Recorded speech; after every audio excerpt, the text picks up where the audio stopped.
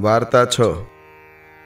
સ્વામિનારાયણ હરે, સંવત ઓગણીસો ત્યાસીના કારતકસુ છઠને રોજ સ્વામી ઈશ્વરચંદ્રદાસજી આદિ સંતો ભારાસર આવ્યા ને બાપાશ્રી પણ ત્યાં પધાર્યા. બીજે દિવસે સવારે સભામાં પ્રથમ પ્રકરણનું પહેલું વચનામૃત વંચાતું હતું. ત્યારે બાપાશ્રીએ વાત કરી છે માયા તે શું? તો આ દેહ છે તે જ માયા છે. તેમાંથી એ ટાળવું અને મૂર્તિમાં જોડાવવું મૂર્તિમાંથી તેજ હળડ હળડ નીકળે છે, એવી એ મૂર્તિ છે. પણ મહિમા સમજવો જોઈએ.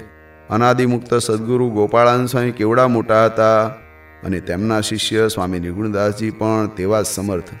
તો પણ તેમની કેટલાક નિંદા કરતા હવે તેમને સંભાળે છે. આ સભામાં એવા હોય, પણ ઓળખાય તો કામ થાય. પછી સ્વામી ઈશ્વરચંદ્રદાસજીને કહ્યું છે જાઓ નાવા. ત્યારે સ્વામી બોલ્યા જે ભલે ત્યારે.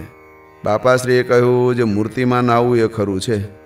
કેટલાક સાધનમાં અધિક માલ માને છે અને પ્રત્યક્ષ ભગવાન તથા પ્રત્યક્ષ સંત તેને ઓળખે નહીં ને મૂર્તિમાં જોડાય નહીં, પણ મૂર્તિમાં જોડાવવું એ જ ખરું છે. હરિજનો, આ વાત સર્વે સમજી રાખજો. મહારાજને તથા આ સંતને ઓળખજો. અમે આજે જઈશું ત્યારે હરિજનો બોલ્યા, આજ આજ તો રહેવું જોઈશે. કાલે પધારજો. પછી બાપાશ્રી બોલ્યા, આજે કલ્યાણ કરશો તો કાલે પણ રહીશું. અમને ઓળખજો. અમે અક્ષરધામમાંથી તમને સર્વેને ખણવા આવ્યા છીએ. તે ખંપાળી નાખી છે.